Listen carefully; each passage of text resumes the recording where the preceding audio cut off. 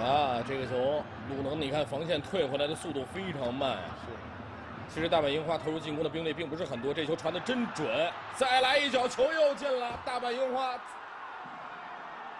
雷雷，咱们上半时说什么来着？这就是日本球队有时候你真的，他可怕就可怕在这，这又是两分半钟的时间打入两球。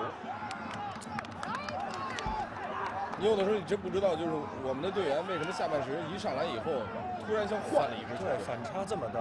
而且这也是之前我们所说的，依然又是禁区弧顶的一个位置，是吧？又没有人顶，四个人站在一起，没有一个人去盯防空出来的弗兰。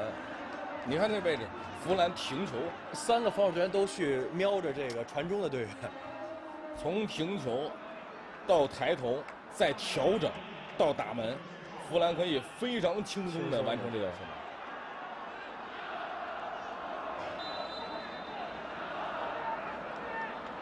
如果保持这个结果的话，大阪是出线，鲁能是肯定没戏。如果因为另外一场比赛目前是个平局，如果即使说。呃。